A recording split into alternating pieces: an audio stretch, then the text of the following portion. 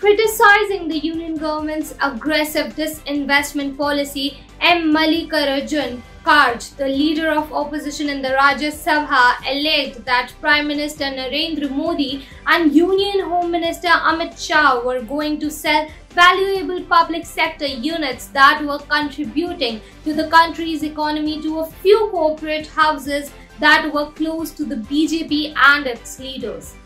He said that the disinvestment process would have a devastating effect on the economy by rendering millions of people jobless.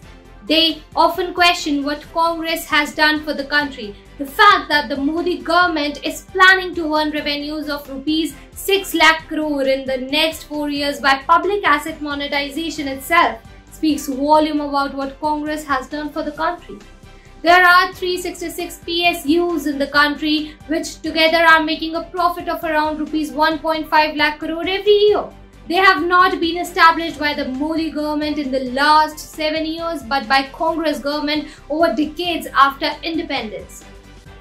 The Congress created these valuable assets that are contributing to the national economy and the BJP is simply selling them at throwaway prices.